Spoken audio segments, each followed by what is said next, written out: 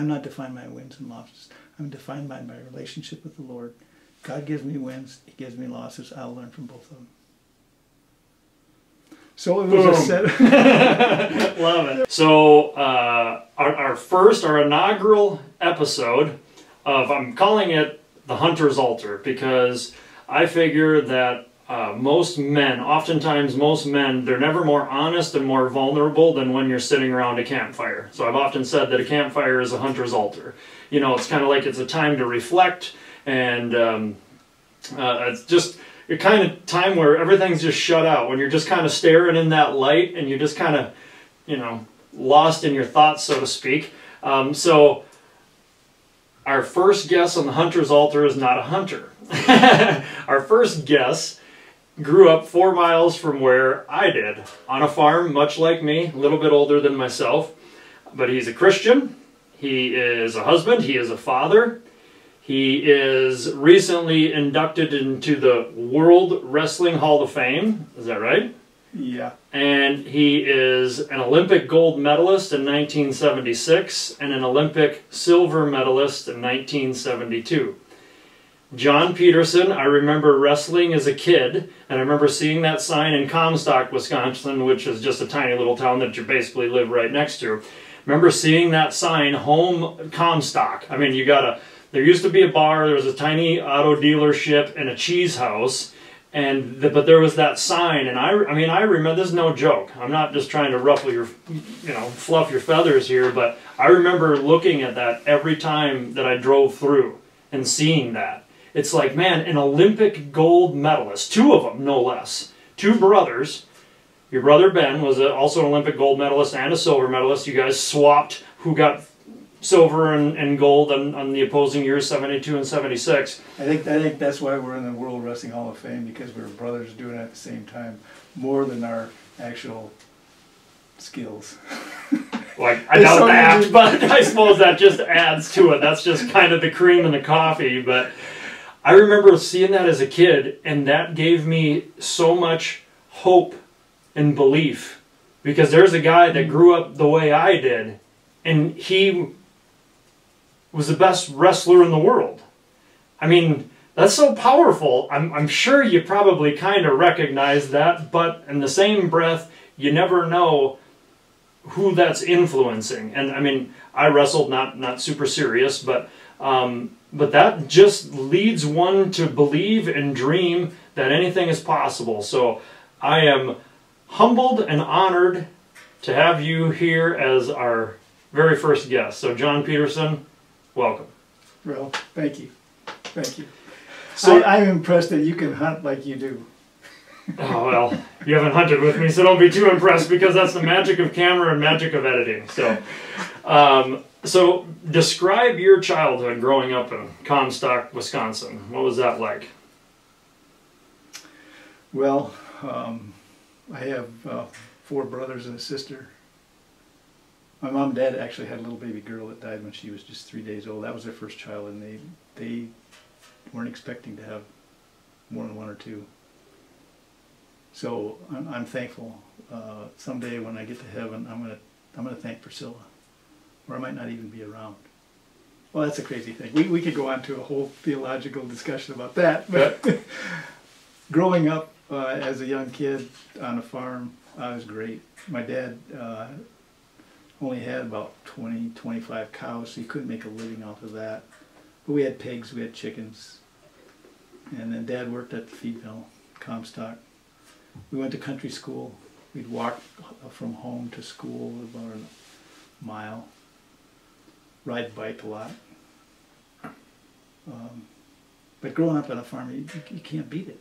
The, the, the life, well, had an older brother who loved sports, so he'd, he'd uh, make a football field, he'd make a baseball field, and we'd play all those games. We had a basketball court in our barn. So, nice. Yeah, we grew up being athletes. Our dad only went to seventh grades in that country school and, and uh, didn't have a chance to participate in organized sports, so he did everything he could to allow us to. We had neighbor boys who couldn't be in sports because they had to do chores. Dad didn't do that with us. We helped with the chores in the morning, but hardly ever at night because we'd be at football practice or wrestling practice. That had to be pretty rare for your day and age. It I mean, was. that you were allowed to do that. It, it was. Yeah, we're forever thankful to our dad.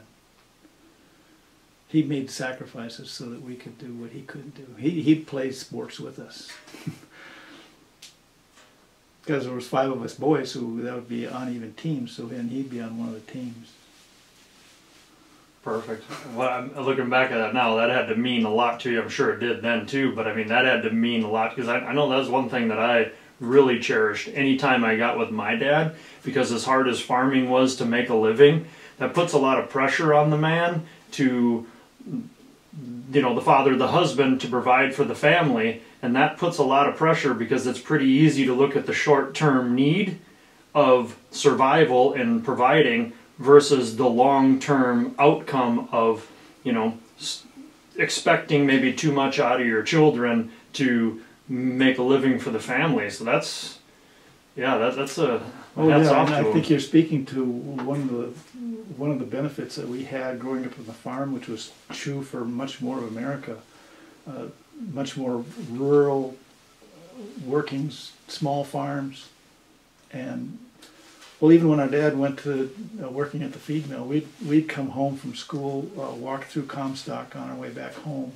If there was a railroad car next to the feed mill, we knew oh, got a bunch of brand bags, hundred pound bags Dad's gonna need some help getting those into the building, and so we would go in and do that, or we'd go in and help uh, pile the, the sacks of, of feed onto the trucks that the farmers would come in with.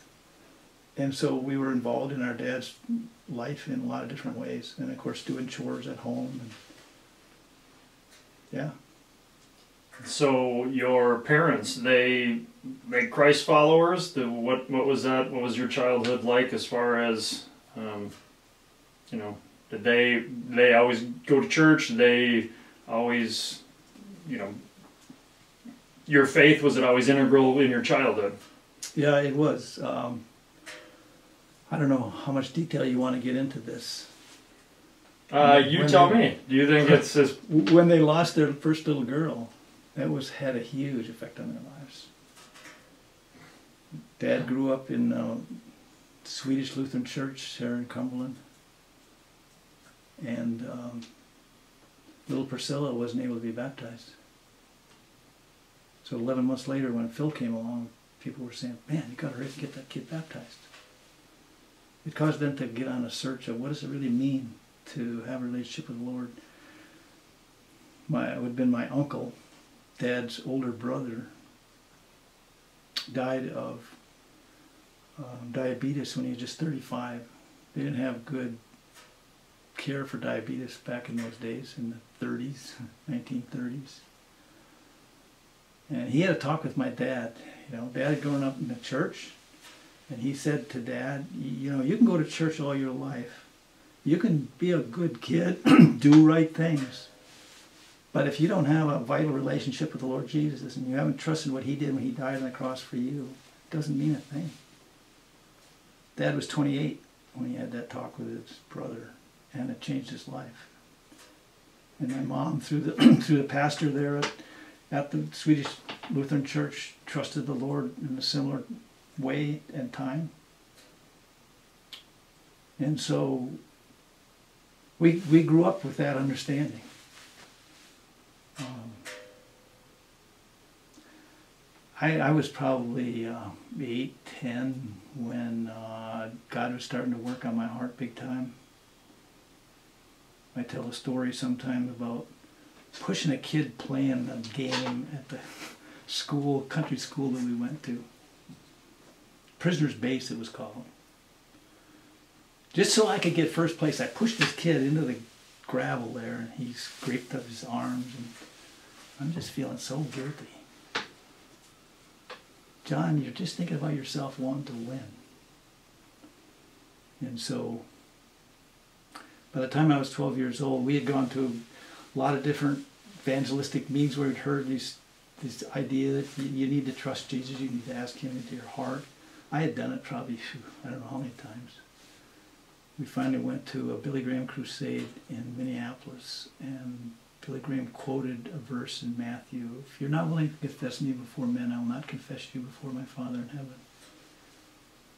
And that, that, um, that message just hit my heart, and I said, I don't care what anybody thinks, I want to go down there and I'm going to commit my life to Christ. With my dad by my side, we went down. I trusted Jesus.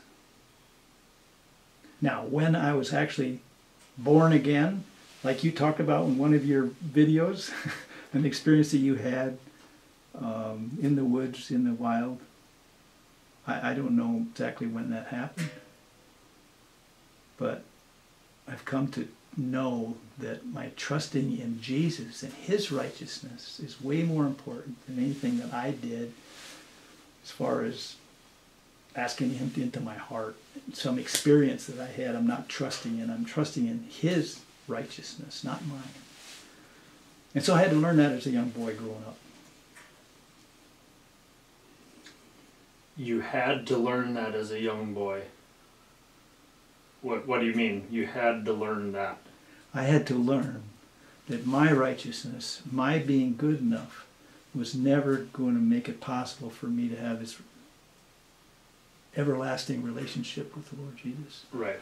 Our dad used to quote a verse constantly, often.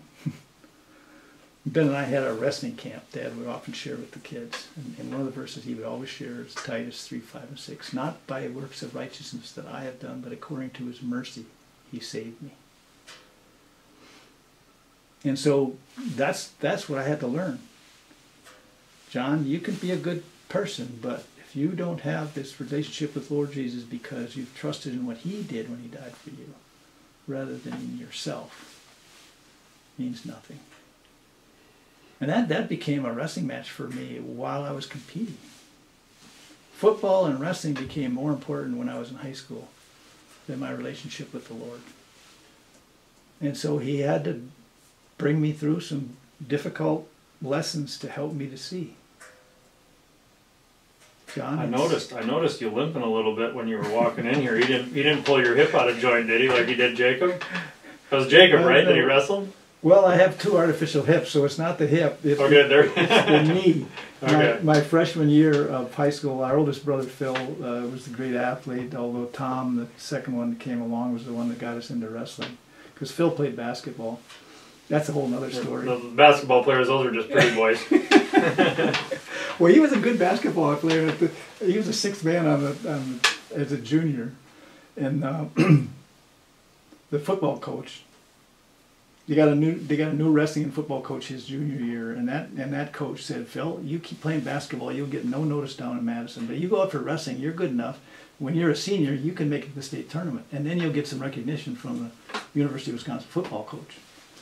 Plan worked perfect.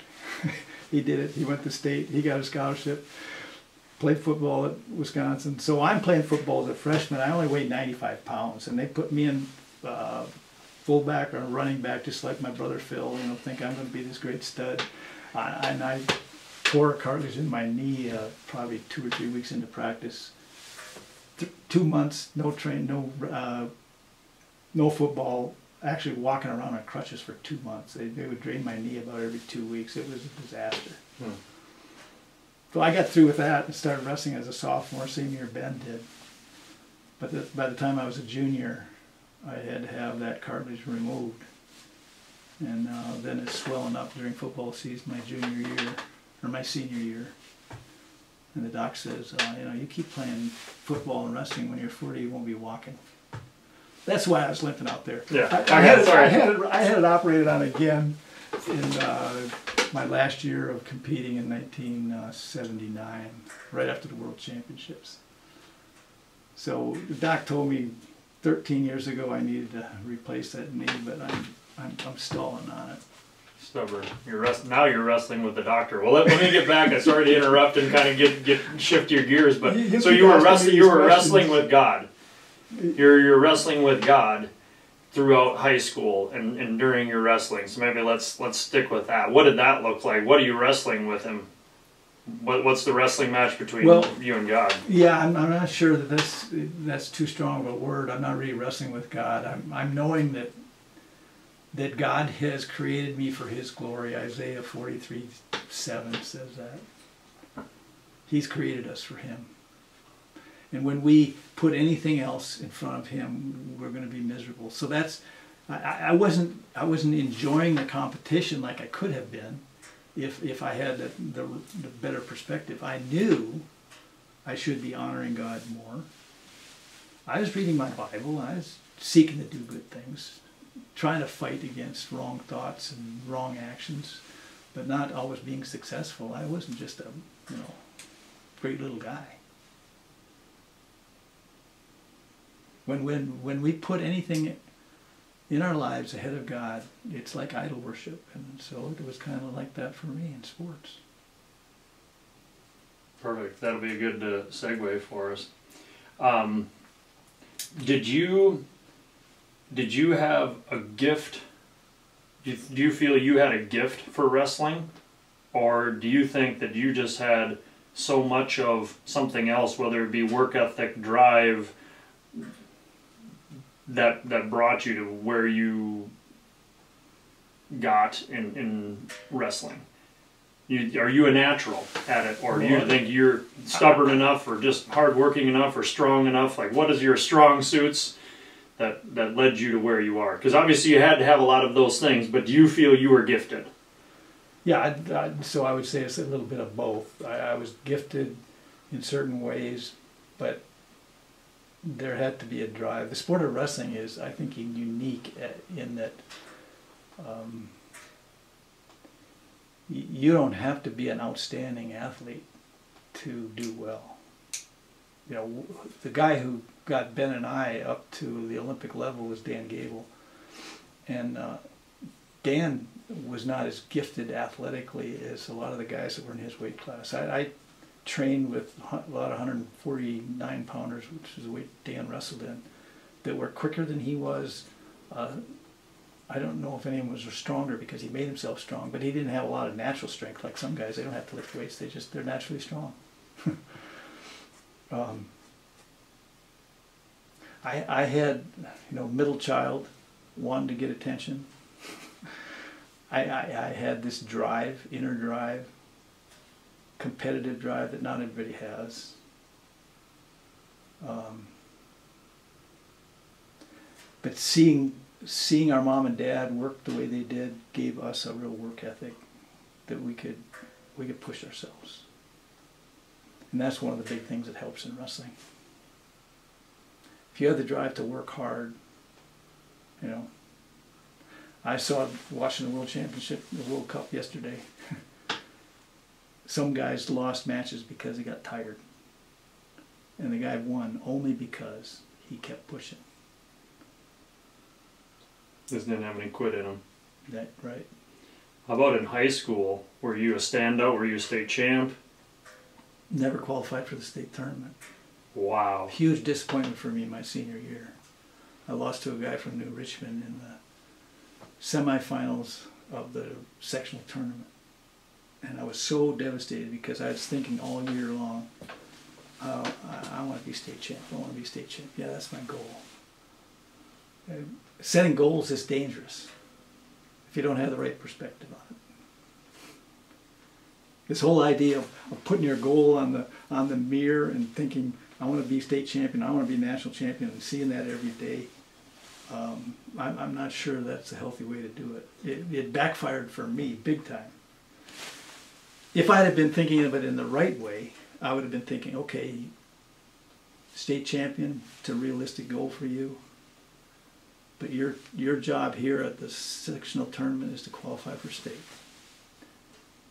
You don't have to even win this thing. So when I lost in the semifinals, I should have been thinking, okay, John, you get yourself ready.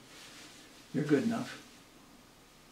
You can come back, you can get second place, and you can qualify for state tournament. Well, I was so down.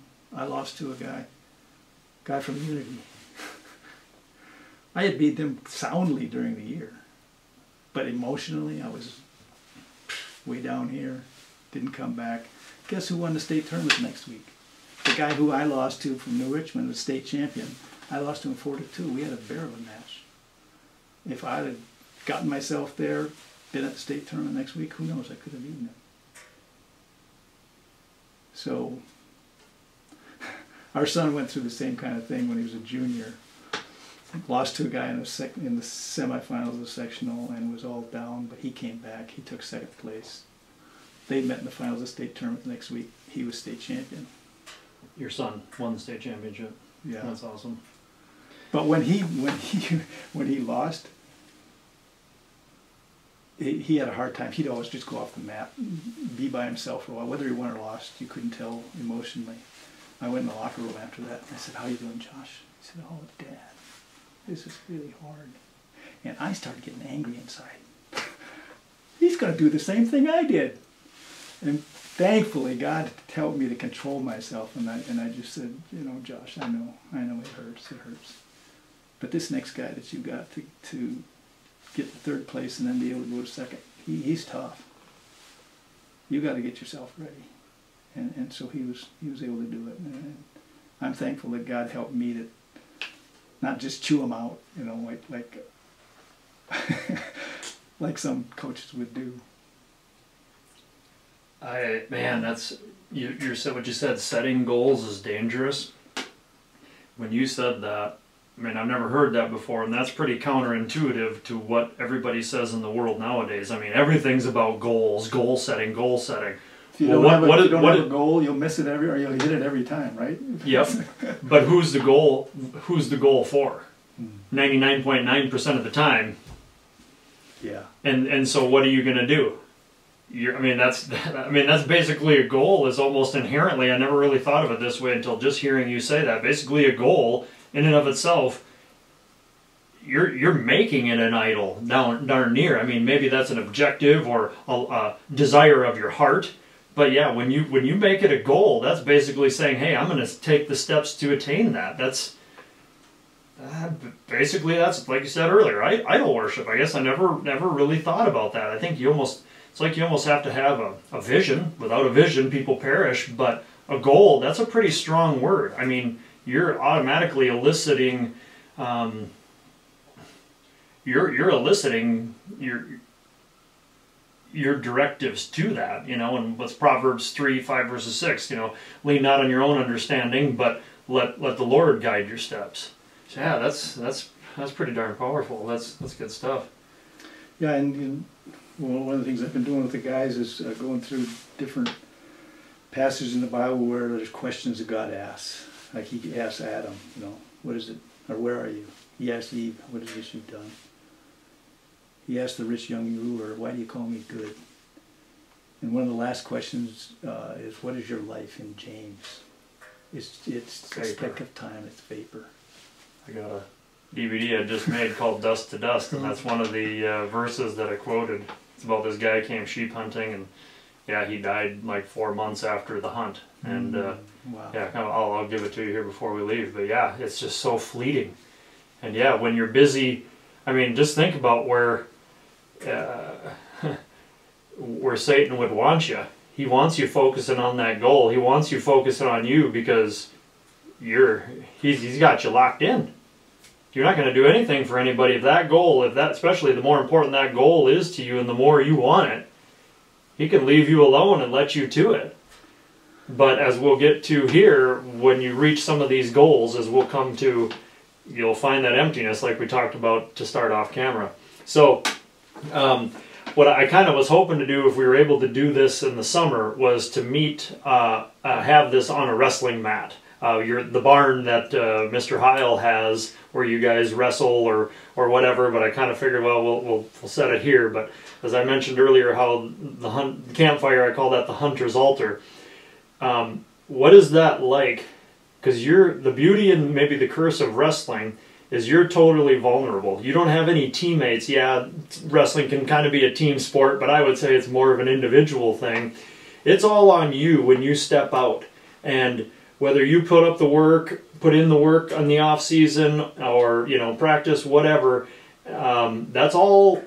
Whatever the periods are, five ten minutes, everybody's going to know. What is that like? What are what are the good things and the bad things about that, or what can you shed?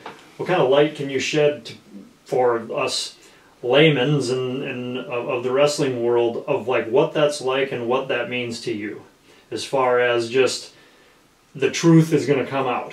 You know, you walk out into that mat and you shake that guy's hand, and as soon as that whistle goes off, what happens? Well, you better you better have prepared yourself beforehand, especially mentally, so that when when it happens like that, then the referee starts the action that you are ready. If the adrenaline is not flowing already, you could be in big trouble. Do you want adrenaline? Do you have adrenaline? Oh yes, Really? you want it flowing. so it's adrenaline. Uh, yeah, It- Huh.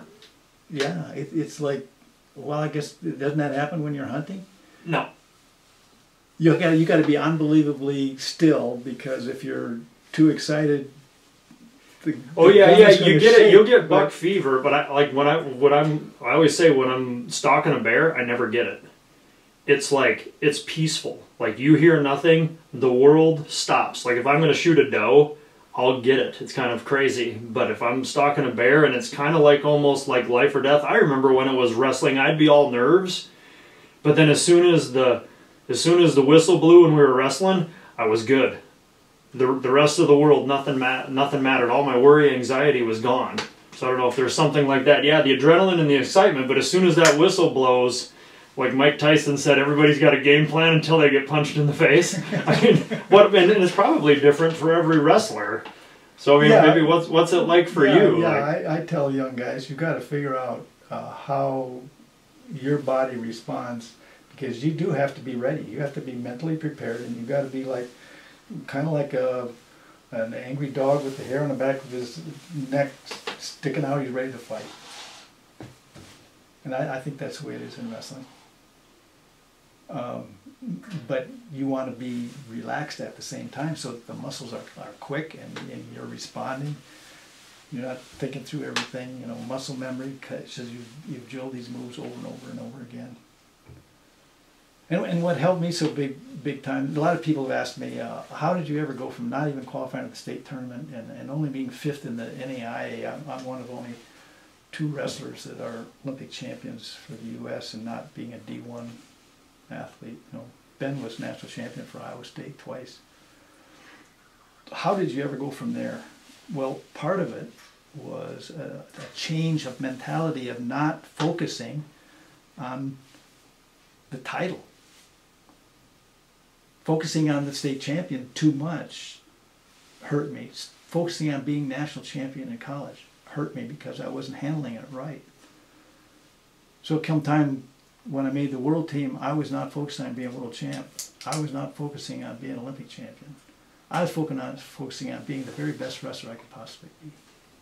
Colossians 3, 23 and 24 says, Whatever you do, do you work heartily as for the Lord rather than for men, knowing that from the Lord you receive the reward and inheritance. It is the Lord Christ whom you serve. When I, when I understand who I am in Christ, I have this relationship with Him that is totally dependent on what Jesus did when He died for me. I'm, I'm, I'm, I'm unbelievably secure in my relationship with Him. He loves me. God loves me so much He sent His Son to die for me. Jesus suffered unbelievable on the cross. If He could do that for me, well, I can go out there and I can wrestle with reckless abandon. Jesus suffered on the cross the pain of my sin. Why can't I wrestle in a way to honor him rather than looking for praise for myself? That was so freeing for me that I, I didn't have to any longer wrestle to make people happy. You know, when I was in college, my mom and dad come and watch me.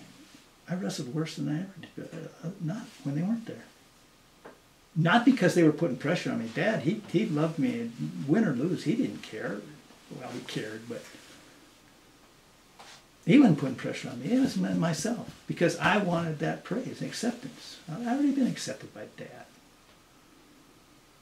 Boy, when I, I learned that and, and began to to make wrestling an act of worship to God, it changed changed completely. Where did you wrestle in college? I wrestled at the University of Wisconsin Stout. Okay, I I knew that, but I just wanted you to say that. So UW Stout. yeah, when in doubt, go to Stout. Yeah. If not And, and you were studying to be a shop teacher. Exactly. Did you ever become a shop teacher? I, I taught shop for one year And that was enough. at Madison West, a big school right next to the University of Wisconsin. I accepted the job to be the head coach, wrestling coach. That was a disaster. This was after you had in the No. Olympics and everything. No, Oh, I had been in the world championships, so I was one of the top guys in the U.S. I had qualified for the Olympic team. Yeah, I, I qualified. Well, no, I, we hadn't gone through the final national championships when I signed the contract. I had won the national tournament, but signed that contract. I should never have done that.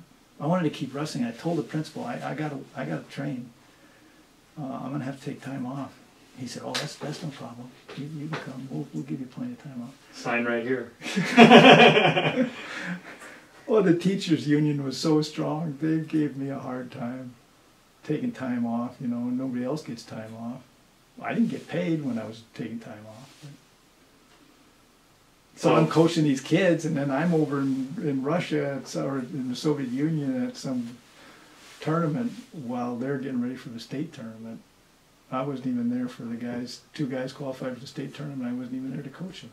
Well, what kind of a coach is that? Yeah, yeah.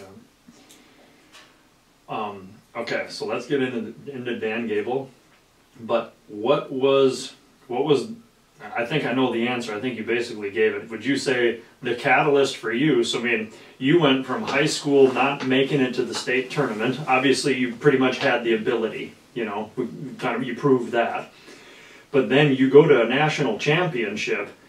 Would you say the catalyst was just your to quit looking so far ahead and quit quit thinking of John Peterson becoming, you know, national champion or, you know, this great wrestler to like, hey, I'm I'm basically you were wrestling for the Lord. I mean, was that basically the catalyst of your success? Is that was that the light switch event?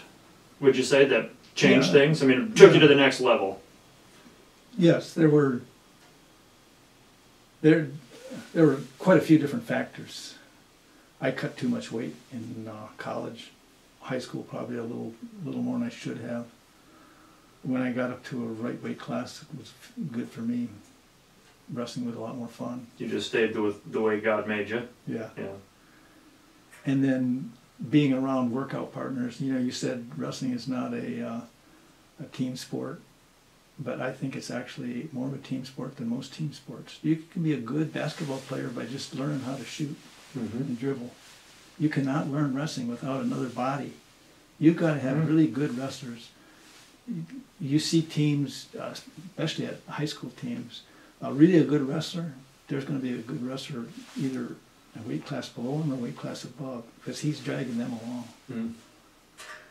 And he is only really good because he's able to get guys to train with. It's so important to have some workout partner. I mean, that's what Dan Gable was for us. And this is this is in your world championship. So he he graduated or he wrestled at Iowa State with Ben, your brother. Right. Right. And He's so, the same age as I am. I'm actually three days older than he is. Okay. So, but he graduated a year before I did. I took third grade twice. I was a little bit slower with uh, spelling and reading. So, What was her name? The girl that was uh, a year year younger than you that you wanted to do it. Don't give me that, John. Come on. You could become an Olympic champion. You could have passed third grade if you really wanted to. Kathy Cordis was her name. Okay. is she your wife? No. All right. Well, I guess I guess we got some editing to do. Yeah, you gotta edit that one out. It's okay, she lives over in uh, Germany. Yeah, but your wife lives in your house, doesn't she? Yeah, I'd be more, more worried about her. Okay. She knows that story, so it, it's okay, I'm not worried. Okay. so Dan Gable, what did he have that nobody else had? Uh, he had this enthusiasm for wrestling. He he actually helped me with my, uh, my seeing that I was worshiping wrestling too much. Really? He, he would come to wrestling practice and go, man, Peterson, can you believe it? We get to do this. And I think, oh, wow. There's too many times when I was in college, I'd come to practice and I sometimes come early because I was really tired from cutting weight and stuff, and I'd lay on the mat and maybe get a 10 minute nap. And, uh, and then I'd wake up, well, maybe I was feeling pretty good then. But a lot of times, man, it just the the the, the, the idea of having to do this again was not that exciting. So Dan helped me to see that you know the Bible says rejoice always. Even when you get beat, you're supposed to rejoice. That's crazy. But there's a deep joy that comes when you have this relationship with the Lord Jesus that nothing can take away. And, and verses like in Hebrews 12, where it says that Jesus, uh, fix your eyes on Jesus in this race, this Christian race that we're in. We're to lay aside the sin and the, the things that drag us down. It might be some good things, but I got to say no to them. Like our brother Phil would say, if you're going to be a good wrestler, you got to, you can't be like normal people. You can't eat like them. You can't sleep like them. and and it says fixing your eyes on Jesus, the author and perfecter of our faith, who for the joy set before him endured the cross. He was experiencing joy in the middle of the most painful thing you could ever imagine, bearing the sins of the world, and crucifixion was horrible. And yet, he could experience joy. I, I guess I, I can I can be happy about a wrestling practice. So he he just enjoyed it. Oh, Dan Dan was telling you that, or Dan? No, I'm I'm. I actually told Dan that at the birthday party that they had for him at 72 years, when, when it was our 72nd birthday, a year ago.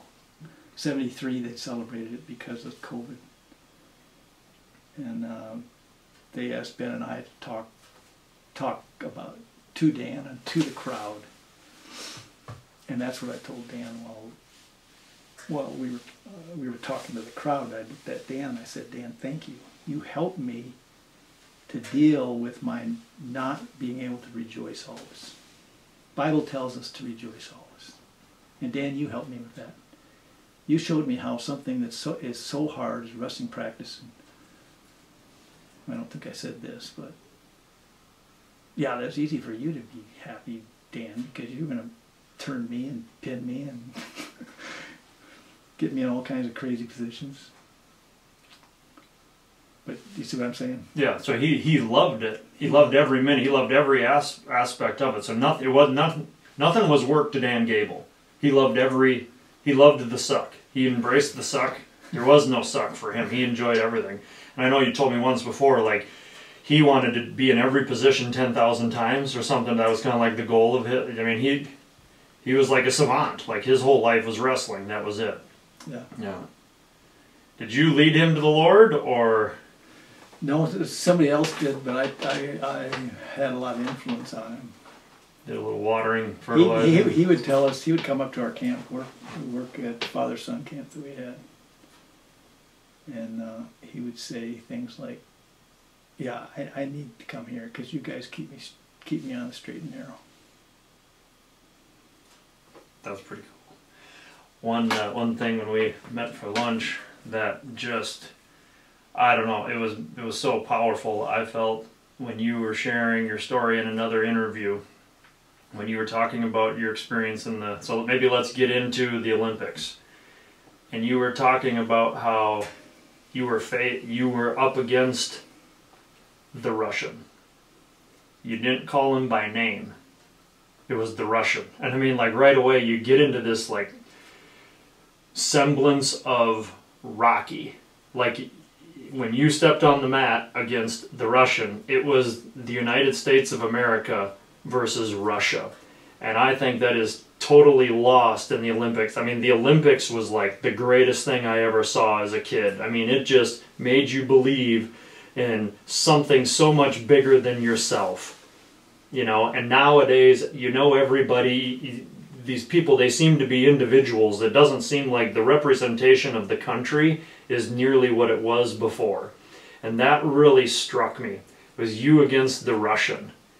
I mean did you did you ever feel that weight of the country?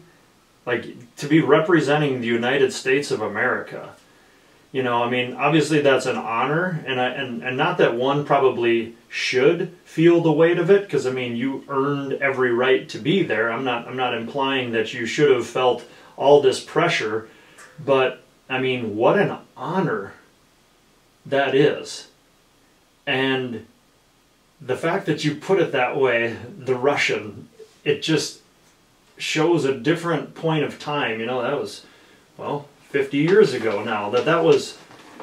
Well, it's just the values were different than they are today. It's it's more of the individual thing now than hey, I have the honor of living in the greatest country in this world, and and and I am here. The the the humility that you brought, or that I've just could oozed out of you when you said that. That really, that's what captured me. I mean, any thoughts on that? Like, you know, I'm sure you knew the guy's name and you knew a lot about him, but probably nothing like today. I don't know where, where I'm kind of going with this and what I'm asking you from, but or, or from you in this, but Well, is that lost today? Do you, do you feel a little bit that that sense of representing your country, and it's not just John Peterson versus Nikolai. This is United States versus Russia, because that means a lot more to me. That I want to watch. John versus Nikolai, I'm not so interested in. It's just a couple of wrestlers beating each other's Well- brains on the mat. Well, it, it it is in the wrestling world. It's still there in the wrestling world. Um, back when I was competing, it was the Soviet Union. So the guy that Ben and I lost to was a guy from Georgia. So it's the Georgian country now. But back then, he was wrestling for the Soviet Union. And so, but but we we kind of called them the dirty Russians, you know, the dirty Ruskies. Got to beat the dirty Ruskies. and he's become a friend. I've seen him several times. Uh, he came here to the United States back in the '90s. Uh, went to Ben's home, or well, like Ben saw him at a tournament and, and spent time with him anyway. He was in our home here in, in Comstock. And this is the guy who beat me in '72, beat Ben in '76, was a four-time world champ. Um, Two-time gold medalist, then. we never we never did beat him. We had some close matches. What First- was, what was his name? His name is Levan Tediashvili. Tediashvili, that's that's Georgia name, Okay. man. Um, Think you could beat him now? here's a here's yeah. he got he not real healthy. Um, here's a story about Gable. First time I wrestled Teddy Tediashvili, we call him Teddy. He won the world championships in '71. January of '72, we went to uh, Soviet Union to compete, and there's a big tournament called the Tbilisi tournament, capital of Georgia. That's where Teddy's from. I wrestled him in second or third match, and he pinned me in the second period. I come off the mat, and Dan Gable comes over to me and he says, "John, John, you know that was your wrestled?" It's not like nowadays they have a it, you have an individual coach for each one of the guys on the team. We had one coach, so he hadn't told me who this guy was, but Dan knew. I said, "No, who was he?" He said, "Oh, that's Tediashvili. He won the world championships." I said, "Dan, why didn't you tell me that before the match?" he said, "This is classic Gable." He said, "Well, I knew you weren't ready." Well, the next month and a half, he spent, well, maybe only a month, he spent almost every day working on me to help me to beat Tediashvili. Two on one to a double leg. I took him down with it three times. He only got one point for takedown back then. He still beat me 5-3. But that's a long way from getting pinned in the second Yeah. fight. I was making progress. That was huge for me, that kind of stuff. So you won. So the story that you're looking for is my final match eh, before I won the gold medal, I think. Um, it wasn't a it wasn't a Soviet guy. It was a I, I had beaten a Soviet guy. I had beaten him twenty to four. We had all these close matches before. He beat me two to three. I beat him three four. Really close matches. All of a sudden, I was I was wrestling like a maniac at that at Olympics. This is the 76. This is '76. So I had wrestled him and the guy who was returning world champ. I'd beaten him 14 to four. Guy from Germany, and I was just I was going. So I got one match left. I beat him. I'm like Olympic champion. Ben and I were in this back room doing our warm up. We pray together, and then we were walking towards the arena. And I made a mistake. I should never have looked at the TV monitor. It would be kind of like if there's a TV monitor over this doorway, and I'm walking through the doorway to the hallway to get to the arena. Jim McKay comes on. He says, "In a few minutes, we're going to switch to the wrestling hall and watch John Peterson attempt to win a gold medal." That's when this fear just gripped me. I just like a high school kid again. I was thinking people all over the United States going to be watching this match. I'm representing the, the USA. If I blow this match, I'm a bomb. I don't know what, what all I was thinking, but I started crying. Ben kind of patted me on the back and said, "Oh, Johnny, you'll be okay." Well, I needed more than that. I needed to think about the truth. Forget about the crowd. Forget about the TV. What's true?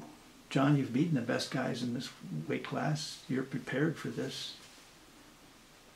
And one of the verses that I memorized earlier that year when I had mono, I was sick in the hospital for five days and in a, in a bad case. Couldn't train for a whole month. I memorized 1 Peter 1.13. Preparing your mind for action and being self-controlled, set your hope completely on the grace to be brought to you at the revelation of Jesus Christ. John, you are not setting your hope on being Olympic champion. Oh yeah, I wanted to. I wanted to win that match. But that that thinking calmed my heart. Thinking about, hey, there's some things you need to do. This, this Turkish guy, he's got these moves the coach has told you about. You're in good shape. You know wrestling. Just go out there and. By the time I got on the podium to wrestle, I had totally forgotten about all that stuff and I was ready to go. That's what I was talking about, this whole idea of, of, of being ready mentally, emotionally, spiritually. That's good stuff right there. So yeah, when uh, when you're weak, he's strong, and so I mean, you you just fell on your faith. I mean that that's what brought lifted that pressure off your shoulders. Exactly. Yeah, yeah. So Ben you described, I remember our conversation again, you described uh, when you, either Ben looked over at you or you looked over at Ben, like one of you guys was coming to wrestle like right after the other one had just won gold. I, I believe, am I, are you, are you recalling okay, that? Is, yeah, this is 72. Okay, so this is when Ben had just this, won, this won is, the gold medal? This is why I would tell people uh, that the silver medal there was more exciting to win than the gold medal. that almost yeah. gives me butterflies, man, to look at that. Now don't be worshiping these things. No, I won't. Uh, I, I had a hunter, I don't have it in here, I had a hunter just recently gave me this bar of copper. Oh, and I'm like, man, that's pretty cool. He remodeled some building and gave me this bar of copper, and I'm thinking, man, that's pretty cool. The thing's pretty heavy. It's like three pounds. I'm like, this is probably worth several hundred dollars. Well, then I looked it up. The value of copper was worth nine bucks. Here, could you hold those up for us? Yeah, you hold them up for us to the camera.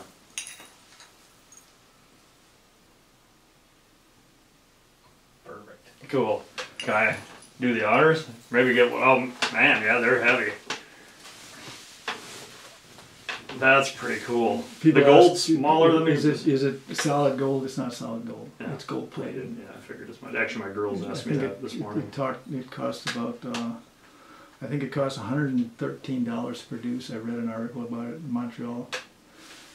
So gold was only uh, 300 an ounce back then, but still, there's not much gold in it. Yeah. But it's gold plated. That's pretty cool. So, so the story that I tell is getting the silver medal was more exciting than gold because of the way it happened at the end. I had lost to Tediashvili, the Soviet guy. Ben had tied with the Soviet wrestler, Strakhov. So for him to win the gold, they didn't break the ties back then, they do now. Uh, if they had broke the tie and had the same rules they have now, Ben would have won. um, for him to win, he needed to do better against the opposing guys that they would both wrestle. So he knew in his last match that he had to pin the Bulgarian. I'm wrestling the East German. He had pinned me in the World Championships the year before, but I'm wrestling at a whole different level, and I'm confident I'm going to beat this guy. And so I had to fight thinking more about Ben's match than mine. I started in the middle circle. I'm halfway through my match. Ben starts against the Bulgarian, Matt next to me, and I'm really tempted to look at see how Ben's doing, but I can't. I, I got to concentrate on my match. So my match is over. Referee's raising my hand. That means I'm silver medalist. I quick look over to see how Ben is doing and as I look, Ben has that guy on his back. Before I could even walk off the mat, he won by the fall and he'd be Olympic champion. So I didn't walk off the mat. I ran right over to him, and I gave him a big hug. And uh, we've got a picture of us. Someone took a picture of us there on the mat, hugging each other. That's pretty awesome. When when we came back here and they did a homecoming celebration for us in Comstock,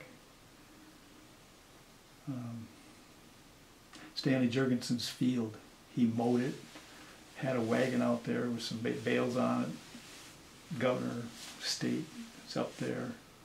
Christian music group from Minneapolis, they had come up and sing. When the whole thing was over, a newspaper reporter from the Pioneer Press showed me that picture of us hugging each other because it was on sports page. People from all over the country would send these pictures to mom and dad. We'd just say Peterson, Comstock, Wisconsin. Well, they'd get it. he said, "Man, that must have, that must have been the greatest thing that's ever happened to you." So I looked at that picture and I thought, "Now, how do I answer this?"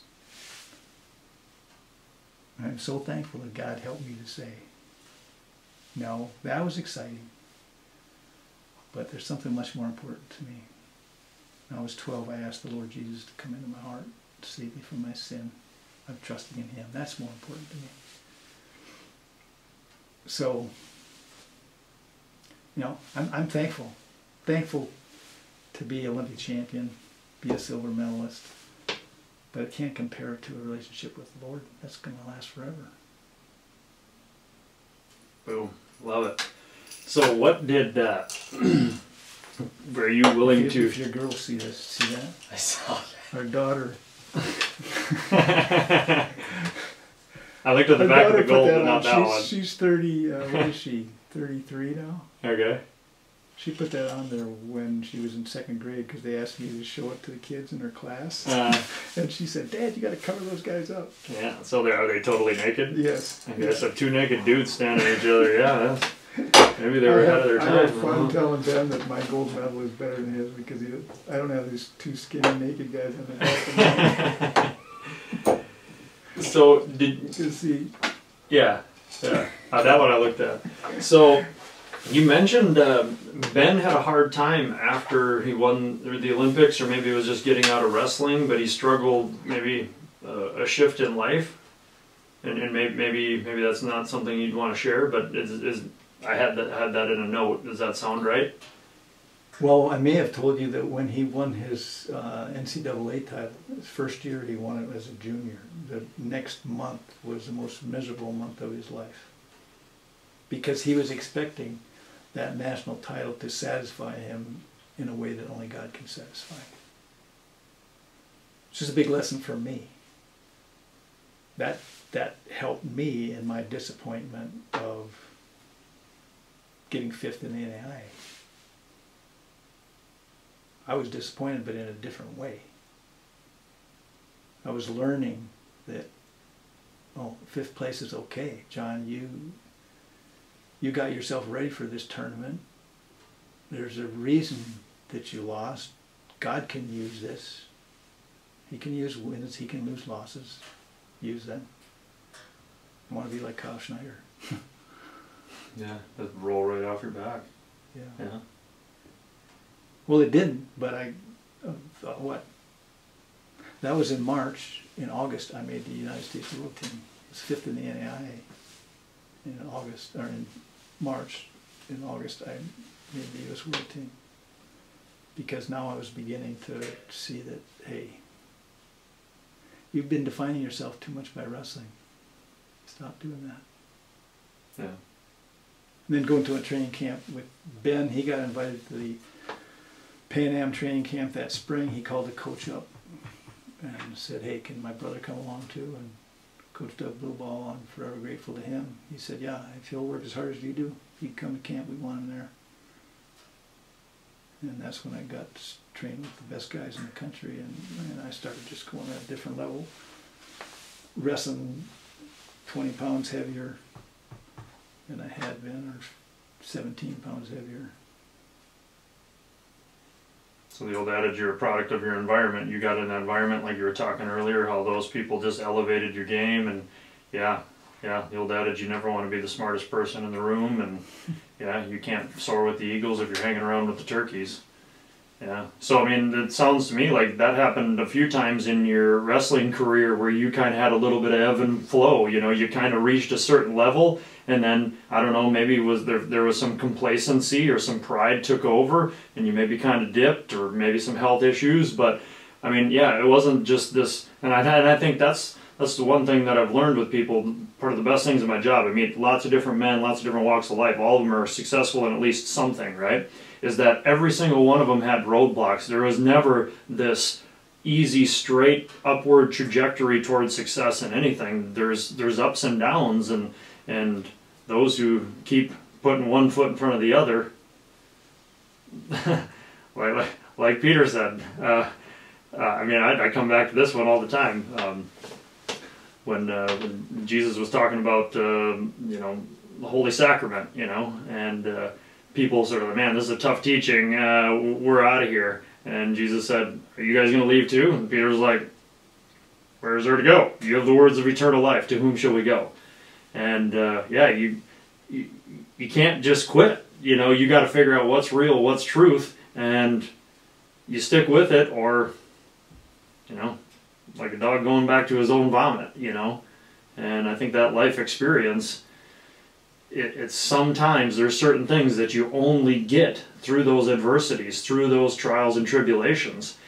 I have to believe, or I guess that kind of leads into my one of my questions is like, what was your toughest, and, may, and if you shared it, that's fine, but your toughest trial or tribulation on the mat and off the mat? you know, John, Peter, James, they all said we're to have joy. We talked about that, I think, off camera. It's hard to have joy when you're going through adversity.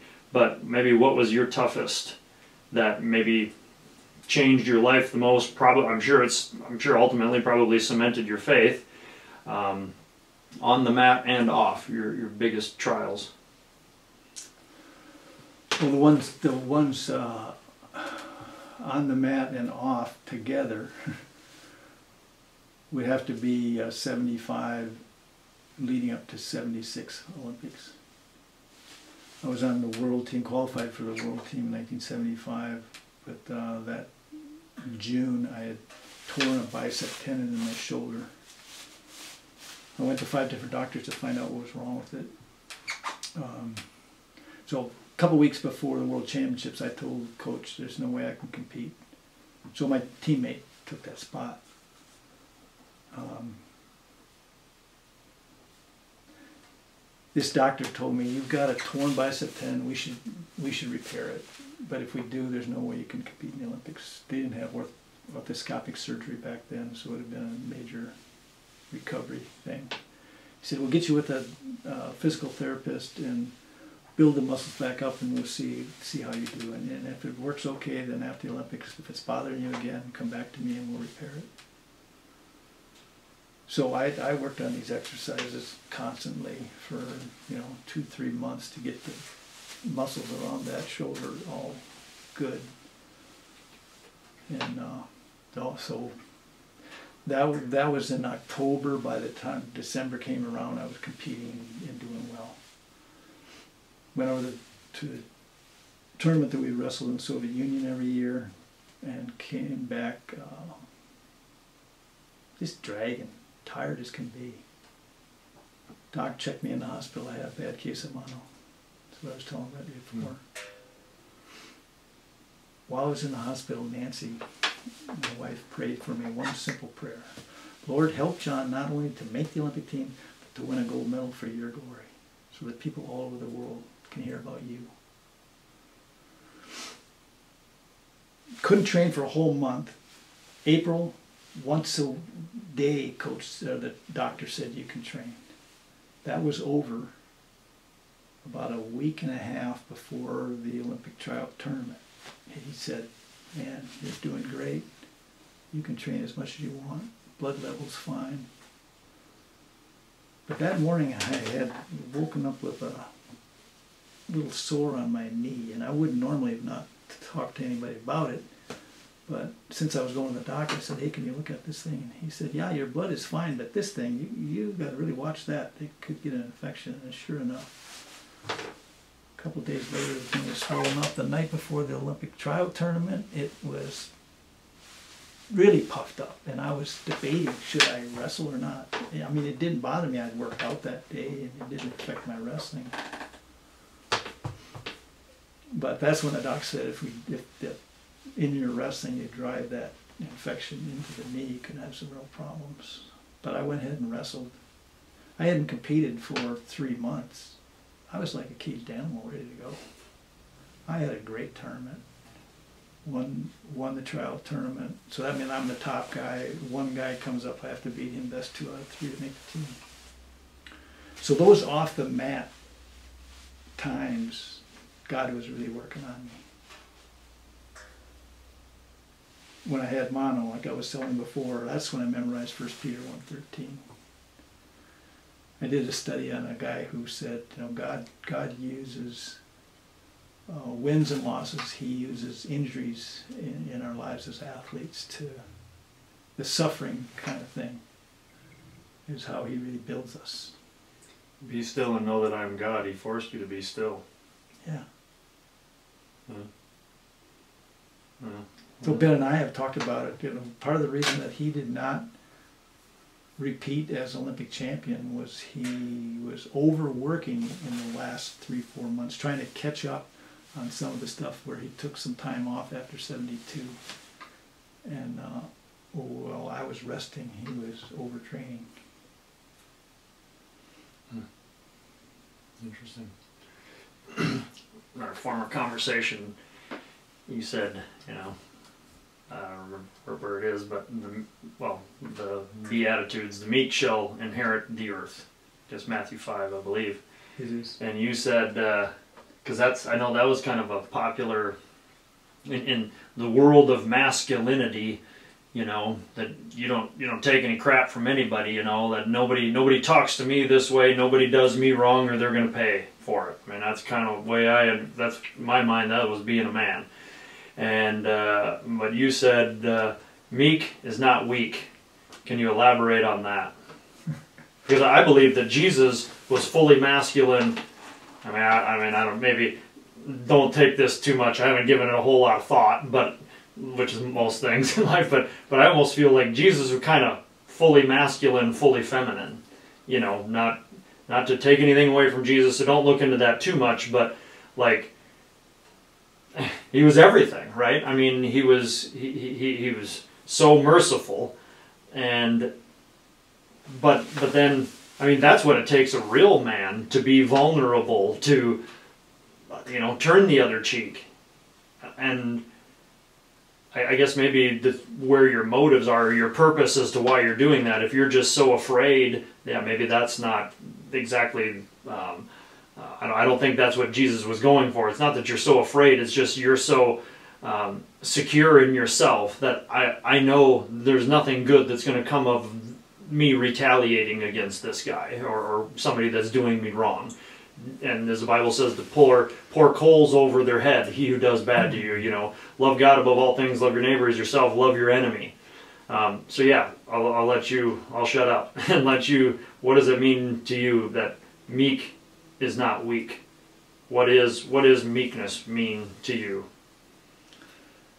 Well, one of the things you learn in the sport of wrestling is that it's a, it's an aggressive sport. It's a it, it takes uh, takes a tough mentality.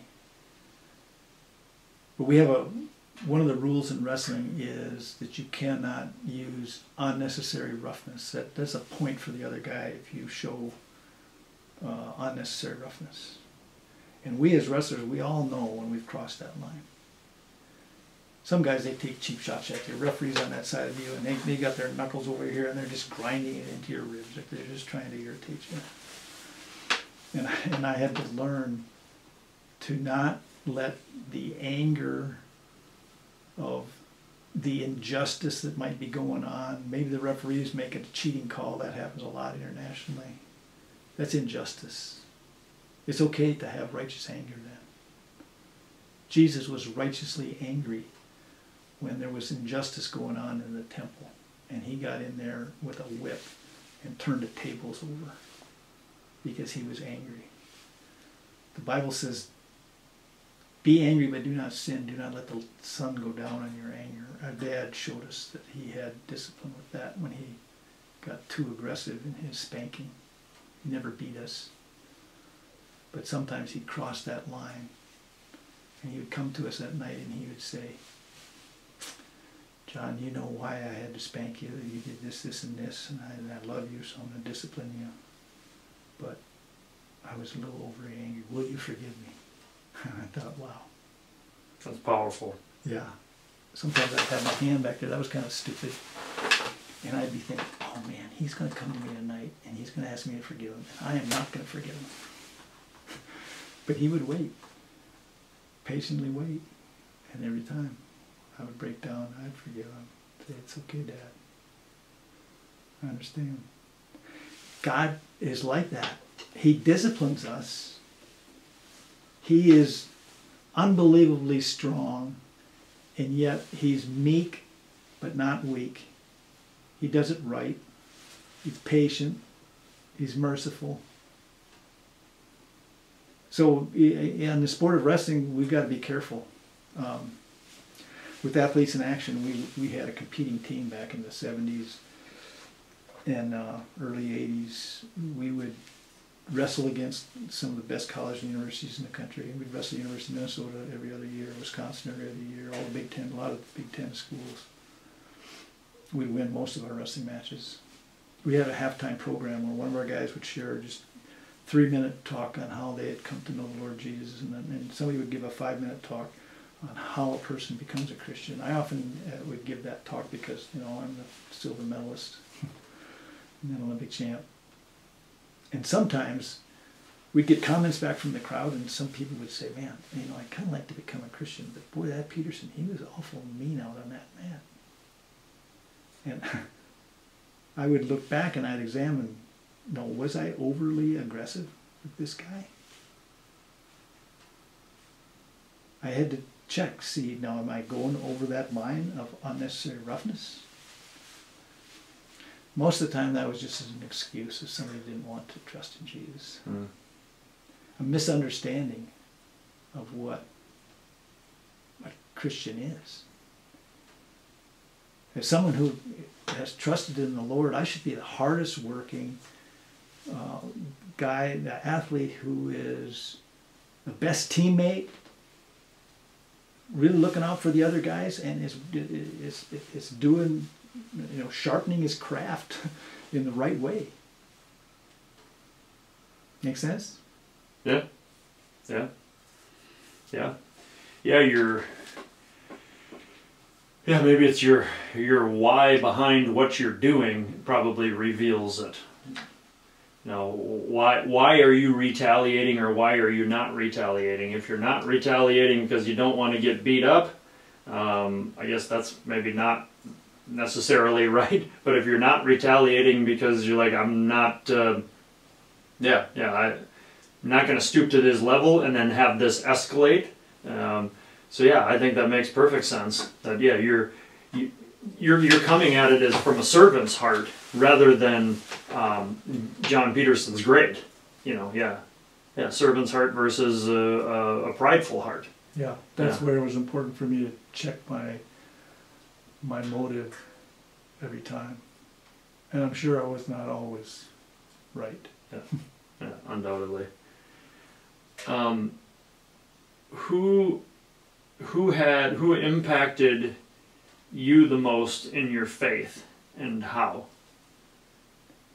What what human?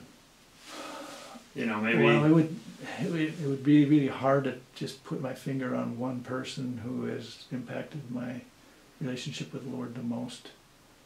Um, one of my college friends on our wrestling team um, didn't truly become a Christian. He, he, he grew up hearing about the Lord and, and being a, a religious guy, you'd say. We had several spiritual conversations, but I'd never really um, talked to him what it really meant that I am trusting in the Lord Jesus. So he got pretty upset with me after I graduated. And he said, John, how come he, he became a Christian when he was a senior in college? He was a year younger than me. And uh, he said, John, how come you didn't talk to me about this? You knew all this stuff. Um, I've told people that I, I think God's decided, okay, you didn't talk to me a lot when you were in high school, talk to about me a lot when you were in high school and college. I'm going to have you talking about me the rest of my life. I'm going to put you in a position where you can do that with the platform you have because of being an Olympic champion. So Hector Cruz has influenced me big time. And that's your college That's my college college roommate. Ben and I, in the relationship that we had with each other, we sharpened each other. Proverbs uh, twenty-seven seventeen is true. As iron sharpens iron, so one man sharpens another. We sharpened each other wrestling wise, big time, and we sharpened each other spiritually. Um, I can't wait to read his book, Road to Gold. so he just I, I wasn't aware that he wrote one. So yeah, I'm excited to, and I'm looking for John Peterson's autobiography as well, or biography, which is auto. Auto must be when you write it yourself, right? I don't know, but your story. there, You said you're gonna write your book when you're 80, so Lord willing. But there are other guys, a number of guys on the Athletes in Action team who sharpened me a lot spiritually. Tom Keeley, Gene Davis, a guy named Bob Anderson, who when I won the national tournament in 1973, he was third place, and Greg Hicks, who's AIA guy, took my spot on the team in 75. He sharpened me spiritually. Reed Lanfear, Stephen Barrett, a guy I go to Russia with and uh, was in Mongolia with him this last summer and also in Israel. We were there together. He's been a huge influence in my, my life spiritually. This Bob Anderson guy, I'm not on Athletes in Action staff yet. He looks up at me. I'm on the victory stand. We're getting our medals. He says, Peterson, when are you going to come? When are you going to get in God's will and come on Athletes in Action team? I didn't. I in didn't God's will, that's a good that's a good persuasive tool. Are you you gonna join God's will ever, or what are you doing with your life? well, I'll tell you what it did for me. I was planning on filling out an application. Well, I left that application on my desk for a whole month, stubbornly thinking, who does this guy think he is? That he's got this direct line with God, that he knows what I'm supposed to be doing. And athletes in action. You know you've shared that with me before, but what is that? Athletes in action. Bill Bright was the starter of Campus Crusade for Christ. It's called Cru here in the United States now, back in the 50s. And they started a wrestling team when a guy was watching a music group on the college campus attract a crowd.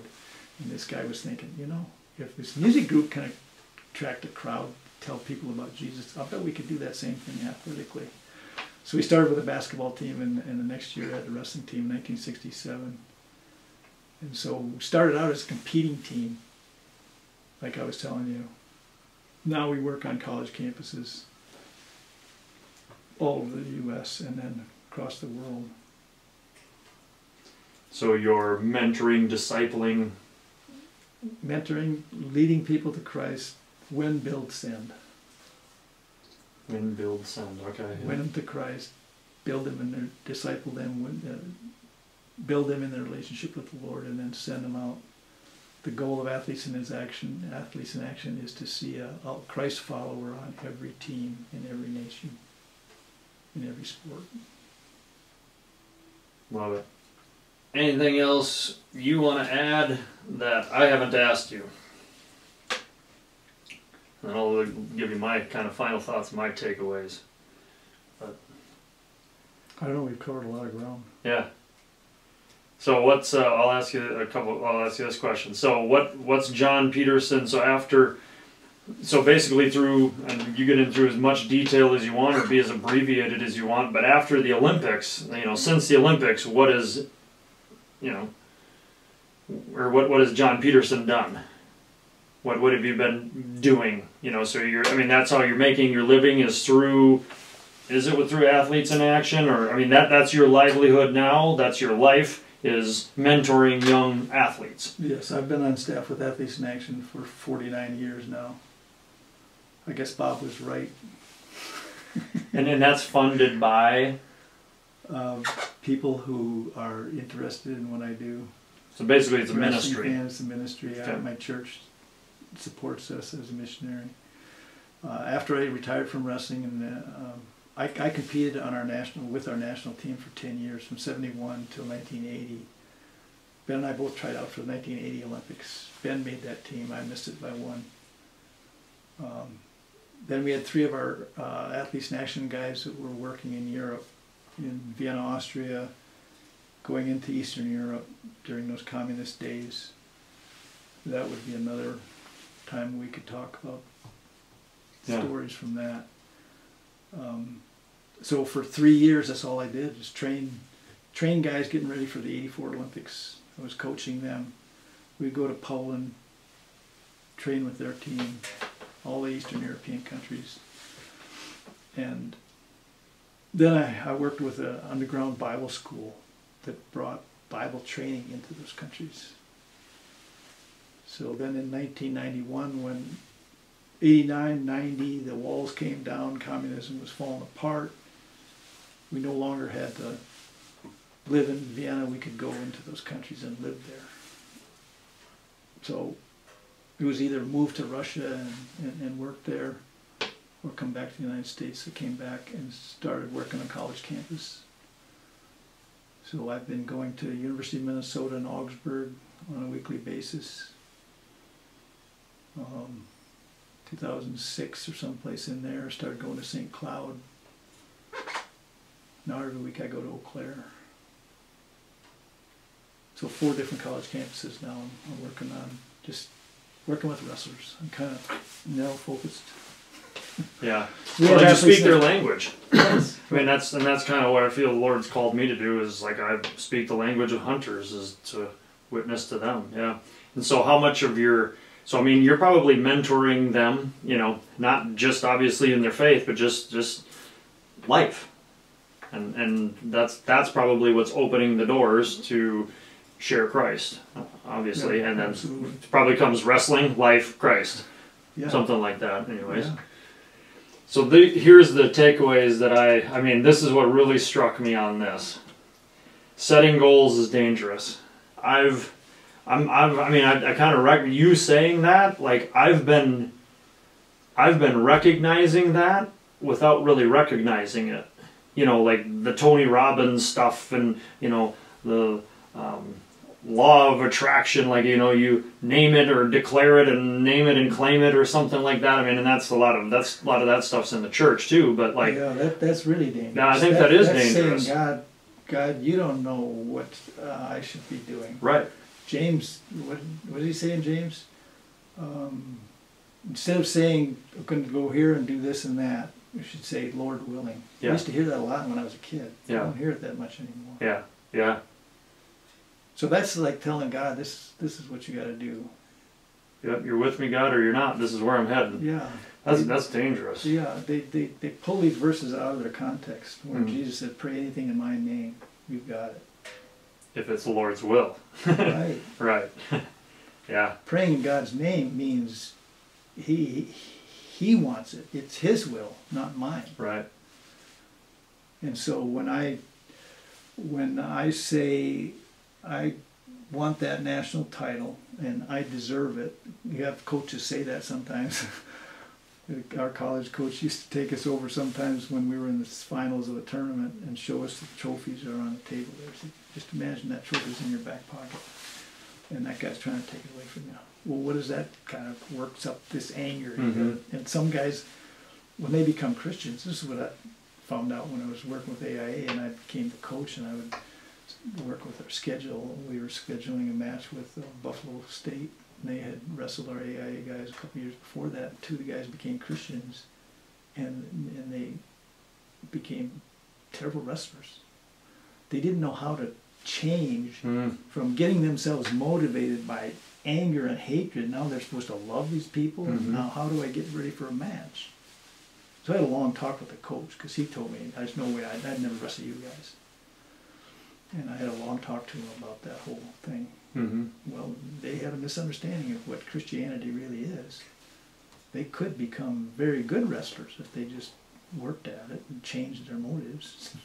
Well, and I wonder maybe from a coaching standpoint, communicate what you got to, you know, the uh, when instead say public speaking, you got to take the temperature in the room, you know, and just in life in general. Well, so you maybe you got to say, hey, you need to get out there, choke slam that guy, you pin him, and then you give him a hug and you hand him the Bible, you know, and just say, hey man, you want to be a better wrestler? You need Jesus here. I mean, you know what I mean? That's And exactly- probably that's- you that's- just couldn't communicate, like in their mind, yeah. Yeah, he just yeah, don't go out there with anger. Go out there and it's like the Lord. You're wrestling for for the Lord, you know. And if a coach doesn't, you know, isn't isn't a Christian, that's that's not going to come out of his mouth. Maybe it would. I mean, if he knew his his wrestler well enough. But yeah, I, I guess I could kind of see that. I've wrestled with that for sure. I mean, and I I got to believe every Christian does. I mean, yeah, you're born again, but you're still you still have your old flesh, you know, that you're refi- that you're refining. You know, you're being sanctified, and so there's times where I think you fall back on your own flesh that we you don't even really realize it, and then all of a sudden you start notice like, whoa, whoa, whoa, how did I get here? It's just like walking into a woods and you know where you're going and you're heading straight, and all of a sudden, whoa, the sun was off my left, now it's back to my right. How did that happen? Like the, like a change in the wind. Uh, what's uh, the verse you know about the spirit? Uh, the spirit is just like the wind; it comes and John- goes. You don't know where it comes from. you don't know where it's John going. Three, John three. And like that's one thing I've noticed as a as a guide. I mean, I don't think I've I think one time in 25 years I've heard somebody notice a wind switch before I did, or at least vocalize it. They maybe noticed it, but I'm, I mean, I'll be like, as soon as I feel wind anywhere other than in my face, it's it's automatic.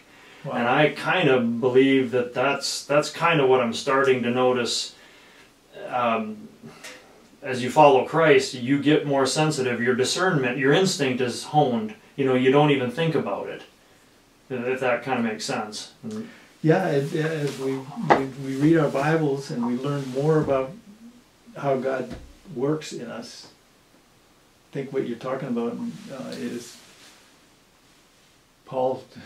He talks about the Spirit commands. This is one of Tom Keeley. I mentioned him. He really helped me with this whole thing. First Thessalonians five nineteen says, "Do not quench the Spirit." And in the context, there's all these good things that we should do. We have a choice. Am I going to do the things that I know God wants me to do? As I read my Bible, I find out how He wants me to live. Am I going to? He's putting that fire in me. You got to do this. I have to choose. Then Ephesians uh, four thirty says, "Do not grieve the Holy Spirit, by whom you were sealed for the day of redemption." In other words, don't make Him sad. And in the context, there's all these things we shouldn't do. Don't lie, don't steal. Be angry, do not sin. That, that one I talked about my dad is there. We have a choice every day. Are we going to do these things that we shouldn't do? Now we can see the Christian life as just all these things. Got to do all this stuff. Can't do that stuff. That's what we, a lot of people define Christians. So they can't have any fun because God takes all the fun away. They got to do all this stuff. Got to go to church. Got to read your Bible. Got to do all these things. Instead of seeing it as Galatians says, walk by the Spirit. Don't fulfill the lusts of the flesh. And he gives a whole list of things we shouldn't do. We have to fight against. Drunkenness, Yeah. envy, yeah, Yeah. yeah, yeah. I have. I've just just read that very recently. Yeah. And then he says, but um, walk by the Spirit. Fruits of the Spirit love, joy, peace, patience, kindness, meekness, goodness, self control. Well, that's depending on Him. That's the difference between keeping this list, my doing it, and my avoiding these things. It's letting God, the Holy Spirit, do it through me. And we do that by being filled with the Spirit. Ephesians 5.18. Do not get drunk with wine. That's debauchery. Be filled with the Spirit. Well, there are the, the tense. I'm not a Greek scholar, but my friend studied Greek, and he'd tell me about this stuff. It's different. I accept him filling me. I can't fill myself with the Spirit. God can. Does he want me to be filled with the Spirit? Well, yeah, he says. It's a command. There's where I've 1 John 5.14 If we ask anything according to his will, we know that he hears us. And if we know that he hears us, then we know what we have, what we've asked of him. If I ask him to fill me with his spirit, I'm mad at Nancy because now we don't agree something. God, you tell me to love that woman. I don't even like her. You gotta help me. I need your spirit to help me. I'm accepting you, filling me with your spirit. Before you know, he changes my heart and back falling in love with my wife. So, what really, I'm going off on this whole thing. Sorry about that. You're sweeping the double leg, John. You come over top and get around him. I love it. Second Peter chapter one, Peter really throws you a curveball. He says you have everything you need for life and godliness. That's verse 3. And then verse 5, he says, For this very reason, make every effort to supplement your faith with virtue, virtue with knowledge, knowledge with self-control. He lists another list, just like Paul does. Well, now what's the deal? You said I have everything. Why do I have to make this effort? I have to take some supplement every day? Yeah. I think you were talking in, in, in one of the, the podcasts that I listened to this morning about about how you have to uh, when you exercise muscles, you tear them down. Yeah. I don't think that's the exact way. I used to hear that all the time when I was lifting weights. You don't actually tear it down. You cause the muscle to have to work to expand its size so that it can get more nutrients Stretch, to it. Okay. Yeah. And if you don't do that, you know, you're going to get flabby and you're not going to keep improving. So you got to make a choice. Am I going to stress that muscle, work it, Mm. and when I do, it increases the ability of each muscle fiber. You only have so many muscle fibers. You you inherited them from mom and dad. Mhm. But when you choose to do the exercise, you increase the ability of each muscle fiber to get nutrients to it and to get the lactic acid out of there so Mm. you don't cramp up, Mhm. so you get yourself in better shape. Yeah. And it's like that spiritually. Peter says you got to exercise those spiritual muscles. You got to choose to let God get in there and love people through you, be kind to people through you, rejoice no matter what the circumstances are, exercise self control. That is so, Exercise faith to grow. yeah. Yeah, it's like you've Yeah, got to be exactly. stretched so that faith is allowed in there. So yeah, I guess if you're following Christ, you recognize that like, all right, yep, I, I can't do this. I can't lift 100 pounds right now. I'm only at 90. But this, and seeing it for what it is, to take joy in that trial and tribulation, because that's that's your exercise. It's just like Dan Gable to take joy in there doing your drills. You know, it's you're grinding it out, and you're dog tired, and you're beat down, and you don't see how it's ever going to pay off because you want your flesh wants the satisfaction now. But like, no, no, no, the reward is coming, but not right now. He's he's refining you. Yeah. Yeah, yeah I, I like that. Yeah, that's a good analogy. Yeah. Um, to make it fun. That's one thing that I've struggled with in business. You know, I, I've I've often said, you know, guiding. I work the rest of the year so that I can afford to go afford to go guiding, and that's kind of what I've done for 25 years. That's the fun part. Everything else, not so fun. I'm, I'm You trying to must- find You must fun. charge these guys for your guiding. You make some money off that, don't you? Yeah, but um, how do you like? What do you do the rest of the year? You know, how what what do you do so that you can disappear for three months off the grid? Because that's the only way I enjoy it. Like when I go there, I don't want to have to answer emails and all that stuff because then I can't enjoy the time while I'm there. So that that was a struggle, and that's what most people struggle with. So they'll, you know, they might guide a hunt or two a year. They take vacation from their job, you know, support a family, you know, that sort of thing. Yeah, you make money on it, but then, you know, it isn't enough to carry you through the year. So to find something to augment, you know, to make it, So that's where Chris comes in. He's helping you to be efficient enough so that you Yeah. can. he's taken over a lot of the administrative type stuff. Yeah, and the business has grown enough to where, you know, I'm doing speaking and video production, doing, you know, four or five different things that you're trying to spin plates all the time, and you lose joy when you're you're trying to do too much. You know, it's it's hard to have joy. You know, and yeah, it's been a lot of fun. Iron sharpens then how do you how do you keep this relationship with your wife and your family? I, I watched the you coming home. Was that six years ago? Yeah. You came home. Yeah, and I'd say just more recently now I've recognized like I feel I want to be home with my kids more now. I, I don't know if I didn't recognize it, but I think when they're younger it's more natural for them to want to be with their mom, less with their dad. And now I find myself wanting to spend more time with my daughters. Um, my wife probably tell you she uh, definitely at times she enjoyed it more when I was gone. you know, and that was one of the nice things about it. Our our, our uh, um, dynamic is you know she was able to stay home with the kids and knowing that she was there with the kids all the time I, I don't think i could have done it if you know she was working. I don't think if she could have done it either. You know somebody else watching our kids we decided pretty early on that um, you know that's something we didn't want to give up you know for somebody else to raise our kids. And so i mean very very grateful. Praise the lord. He he provided for us. There was times where it was you know kind of nip and tuck you know we're kind of just getting by which I don't know. That wasn't that bad. I was pretty used to that growing up on a farm. Um, but I always recognized, man, especially early on when I was just guiding, shingling roofs in the off season, did my own construction. It was like if I broke a leg, pulled, you know, herniated a disc in my back or fractured a disc in my back, which all of which happened. But at that time, if those things would have happened, we'd have been, in, you know, didn't have any insurance. So that was always kind of in the back Where- of my mind. Where's the disc in your back? Uh, I fractured one about right here, and then herniated one right above my belly button. So I don't know exactly when this happened. I remember I tried dunking a basketball one time and hung on a on the rim too long, and I swung out and I landed on my tailbone. And I remember specifically thinking, "You're going to pay for that when you're older." And then uh, herniated a disc working out and just poor mechanics and muscle imbalances, and so yeah, just doing too much too much repetitious movement, shingling work, roofs bent over all the time, just and farm Ben and and I stuff. did that working through college. Yeah. Shingle, It's good money, but work, working there's a reason why it's good money. Bear and, well, two fifty an hour, that's what we made. You know, probably good money if you Yes, own the it is. business. I never charged enough for it to be good money, but it gave me freedom. You know.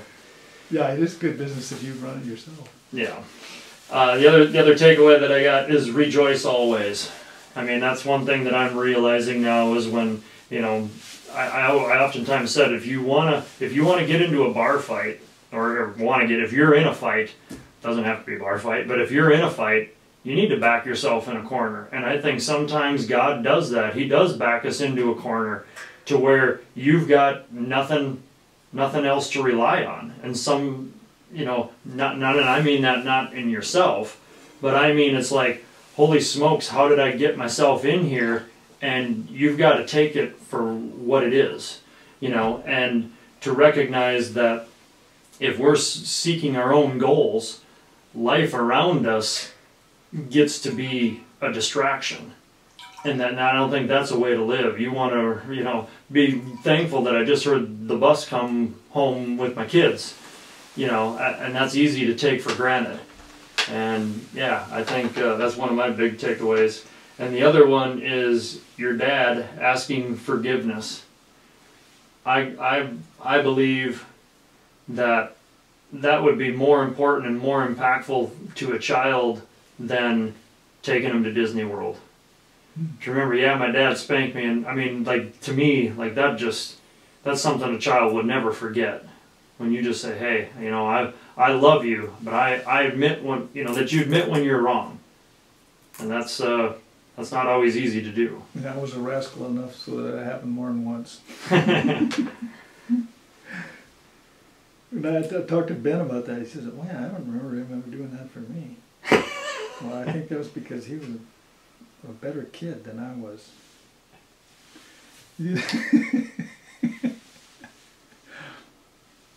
Uh, yeah. yeah, I think. Um, yeah, anything? We'll, we're gonna leave the cameras rolling. Any, anything else you want to add? But man, I uh, I really want to thank you for taking time to join us. Um, humbling, an Olympic gold medalist. I'm sitting here next to an Olympic gold medal, a wrestler no less. Um, that's pretty pretty humbling, John, and I, I really appreciate you taking the time and and uh, maybe stepping out of your world a little bit. But I think um, our our paths, our yeah, our pasts are, are quite similar, and our livelihoods, our lives are very similar. I'd say in many ways. Grew up four miles apart and uh, never met you until um, basically I just saw a video, and that's when I reached out and I just man, I got I got to talk to that guy. Your humility, that's what st- stood out to me. You know, when you think of an Olympic gold medalist, uh, your meekness. that, that's what it was. Your meekness is like, here's a guy that was a better wrestler at, you know, whatever your weight class was at that time of world. There was nobody better than you.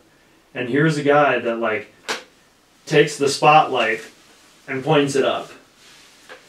That's powerful stuff. And you're, uh, you're a light for many, and myself included, and uh, a role model, and uh, yeah, you're, you're giving many people something to strive toward. You know, I always tell people don't, somebody's like, I don't want to be like when you grow up. It's like, don't do that. God's got better plans for you than that. Don't try to be me. You just figure out who God wants you to be and you go there. And that's going to be way better than, than anything, you know, you could ever care for. You know, I, when you talk about setting goals is one thing in the hunting world. The big thing is, is everybody wants to see their picture. Um, you know, they want to have their pictures on Facebook or they want to have a mount on the wall or whatever. And uh, like you said, that there's no uh, accomplishment in wrestling. You figured that out. I think again we were off camera when you said that. Is like there's nothing in wrestling that's going to fill you. There's no gold medal, world championship. That's that's not going to fill you. And all these dreams that I had uh, in hunting, that that's all my dreams revolved around hunting, and they all came true. And that that's why I tell people you need to chase your dreams, and you need to achieve them. And the best thing about it is when you achieve them, you'll realize you'll fall flat on your face. It'll be like letting air out of the tires because it's going to last for a few seconds, and then all of a sudden you're going to be like, "That's it. That's all. That's all there was to it." So yeah, go chase your dreams, set those goals, and see where because it's an, it's going to be an endless cycle.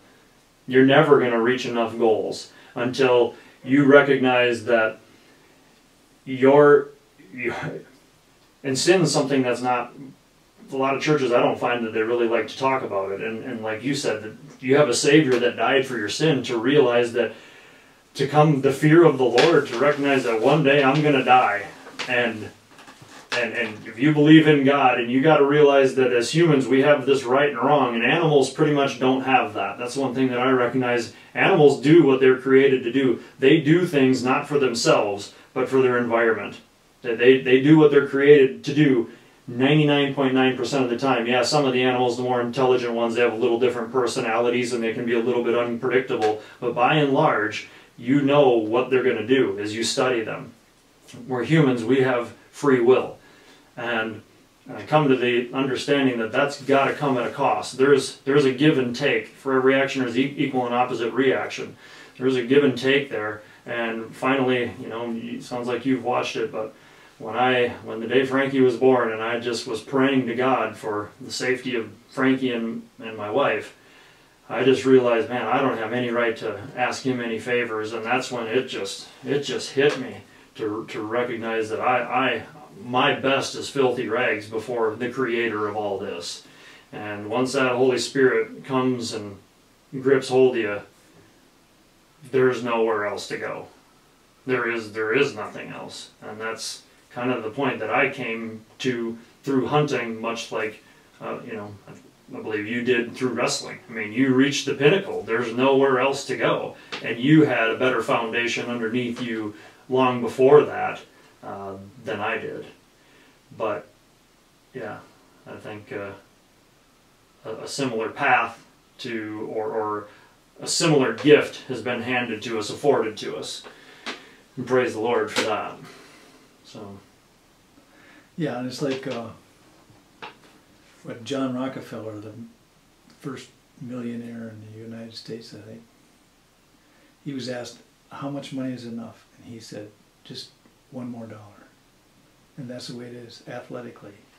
You win one gold medal, what do you do? You want to pursue another one. it's never enough. No, it's not satisfying. And that's where I, I think God helped me from the beginning, like you were saying. When I won the silver medal, I, I wasn't terribly disappointed. I was overjoyed that I was a medalist. Did I want to beat Tediashvili? Yeah. After the 76 Olympics, we were uh, competing with Athletes in Action. It was down in Georgia, or I think it was in Chattanooga. There was a big Southern Open tournament was down there. And uh, some newspaper reporter wrote an article about me. This is when I, that I learned that the uh, news media don't always write articles the right way. He had written the article and he just came and talked to me and wanted to get a quote from me.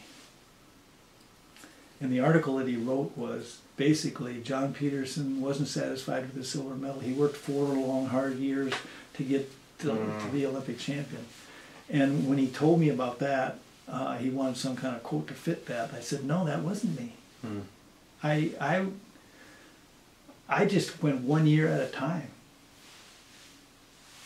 trying to do the best in the world championships in between, and then want, wanting to make the Olympic team. But I had learned how to set goals in a much better way uh, to be shooting at that, desiring, well, if you're going to be, if you're going to keep wrestling, yeah, you want to wrestle in the biggest tournaments, and the world championships and the Olympics are the biggest ones. So you want to Mhm. try to make that team, and then once you make the team, you want to win one match at a time, and who knows what's going to happen, right? That's the way we try to approach our sport in a much better way than just dreaming about that end goal. Perfect. Well, thank you, John. You're welcome. We can do A- this a again. real You know, we're only four miles from each other. Yeah, we could probably. So, uh, yeah, yeah.